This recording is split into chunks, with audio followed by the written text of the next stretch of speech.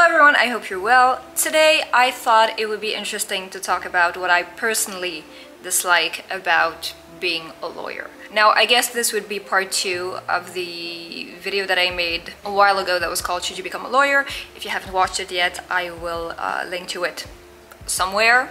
And in that video, I talked about things that were, I guess, a little more objective. I talked about salary, I talked about cost of education, but in this video I'm going to talk about things that I personally do not like about being a lawyer. If it's your first time here, hi, my name is Aicha, I'm a lawyer and I'm an entrepreneur and I make videos about the law, about becoming a lawyer, entrepreneurship, productivity and a bunch of other things.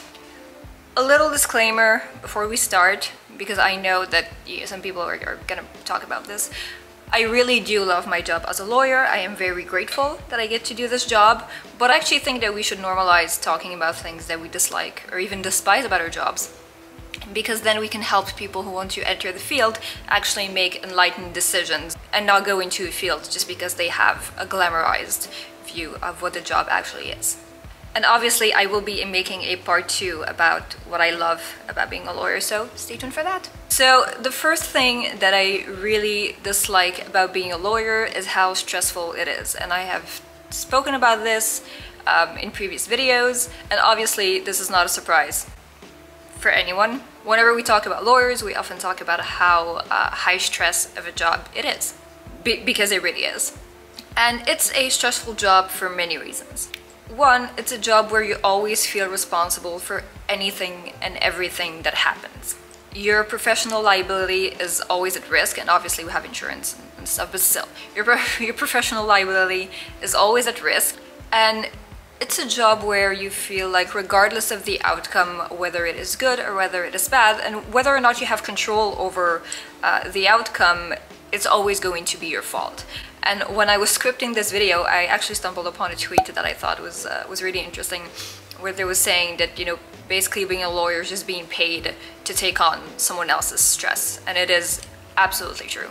It's also a very stressful job because it's it's very demanding, and it is demanding regardless of the field that you work in. Thank God I personally do not litigate, so I, I don't go to court because I think I would be, I, I don't think I could survive going to court and litigating, my stress levels would just be through the roof. So I've managed to avoid stress that comes from litigation, but it doesn't mean that I don't live stress or I, that I don't help people go through very stressful situations. And I'll make, I, I know a lot of people ask me what I actually do for a living. I'll make a separate video about that, but just short answer, I work with creatives. So I work with people who are in the fashion industry, in the tech industry, entertainment, visual arts.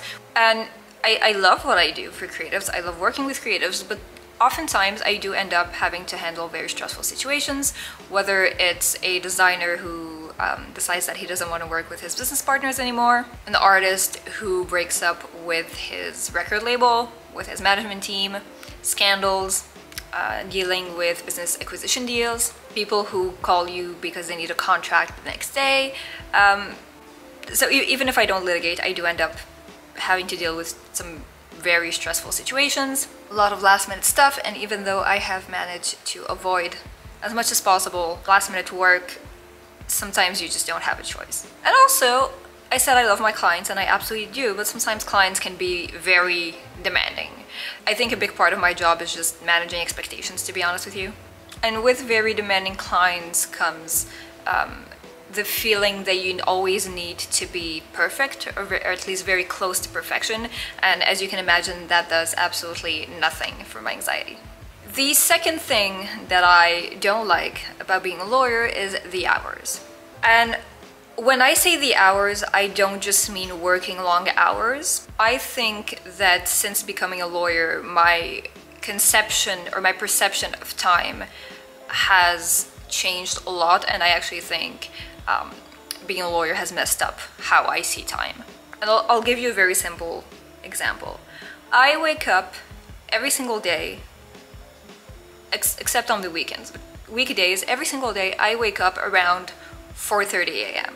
Now, yes, I do enjoy waking up very early. I actually have a love-hate relationship with what, you know, becoming a lawyer has done with my perception of time, but, but we can talk about that in another video. But one of the main reasons why I wake up so early is because I feel like if I don't wake up at 4.30 a.m., I just don't have enough time to do everything that I need to do in a single day.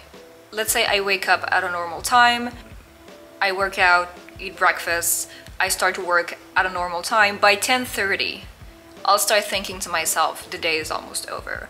And I'm saying it out loud and I'm fully aware of how ridiculous it sounds. Obviously at 10.30 a.m. the day is nowhere near being over. Um, and yes, anxiety is a big part of it, but I think that the way that we treat time as lawyers, and also just the sheer amount of work that needs to be done in a single day, all of those things have led me to believe that there is no way that I can be productive if I don't wake up at 4.30 a.m.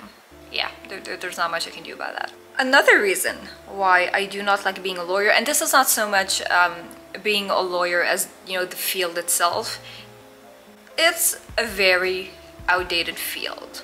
And I, I want to say there are many, many lawyers who are doing really creative, really innovative things, but it is really, really hard to be innovative in a field that is outdated.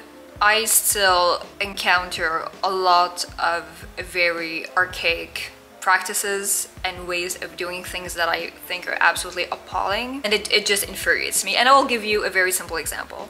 When I was articling, I was articling at um, an IT company a few years ago and I remember the lawyer who was supervising my internship asked me to send this lawyer an email and so I did. I sent her an email and 10 minutes later, 15 minutes later, I receive a fax she had replied to my email by fax.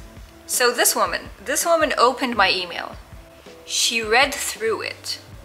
She typed up an answer to my email. She printed that answer and she faxed it to me.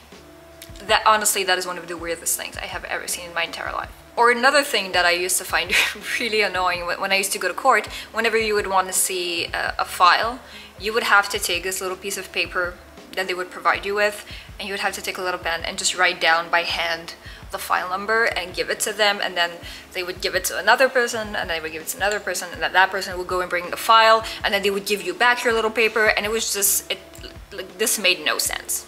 So yeah a lot of very archaic practices and um, behaviors, things are changing slowly, but still, it, it's still a very outdated field. And the last thing that I really do not like about being a lawyer is that people do not like lawyers. And when I say people do not like lawyers, I mean that lawyers to this day still have a very bad rep.